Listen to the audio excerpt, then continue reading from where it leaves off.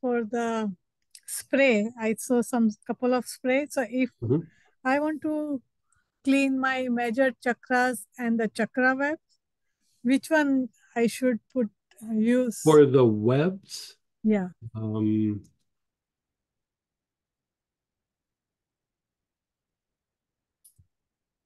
for the webs, I would probably use either uh, orange healer or I would use there's um, a newer oil that's been on there. It's been on there for a few months, but o- Oppo Deldoc. Okay. Yeah. Or you could still go to hyssop.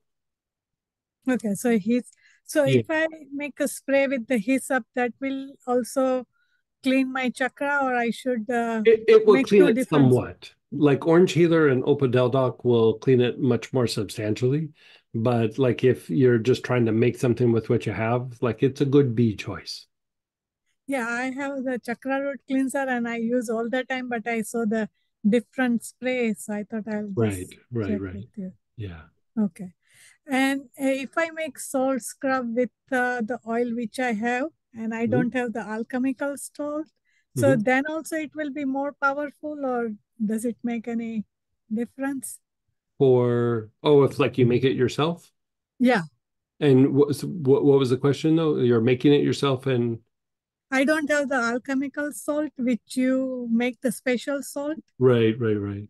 So then also it will be the same kind of powerful, or Yeah, um, like I put a bunch of holy water in it as well. And so uh, like put the salt and um the essential oil together and then like hold your hands over it and then chant for a while. Om. Yeah. Like do something like Om or Om Mani Padme Hum, something like that. So that's the way we energize oil and spray, right? It's a way to con consecrate it. Yeah. Okay. Yeah. Okay. And is there any way you can teach us how to make alchemical salt?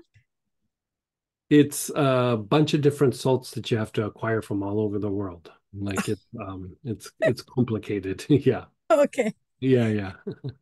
Okay. I'll probably make another batch of it here sometime in the future. It's just I usually make a five gallon bucket and we went through it all. And so I, I only have a little tiny bit. Yeah. Um, So we can purchase it. Yeah. yeah. Okay. Thank you. Thank you.